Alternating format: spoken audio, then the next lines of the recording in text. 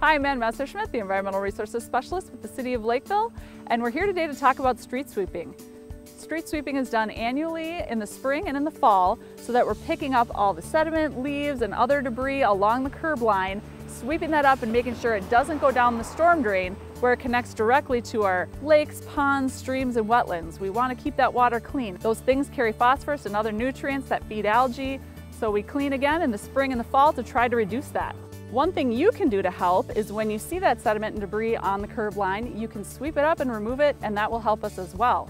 You can do that by joining the Adopt a Drain program. Simply go to adopt-a-drain.org and sign up. You can even name your drain. So it's a really cool and fun way that you can help us keep our waters clean in Lakeville. So this spring, you can do your part to help Lakeville's lakes, streams, and wetlands by joining